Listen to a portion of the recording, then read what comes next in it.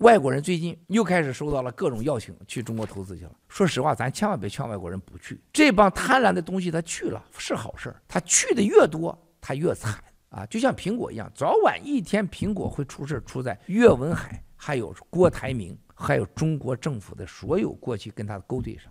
苹果出事儿一定会出在这儿，记住我的话，一定会出在这儿。从个人。和政治和道德和科技和危险，美国人有一天一定会懂苹果干了啥，包括像谷歌、YouTube 这些，没有人可以改变。